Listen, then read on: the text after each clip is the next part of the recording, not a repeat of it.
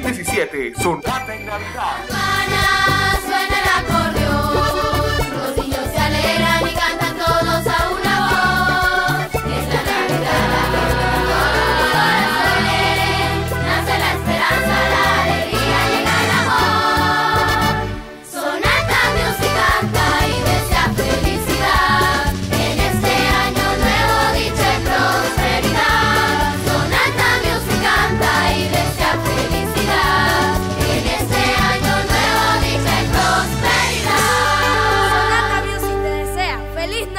y próspero año nuevo.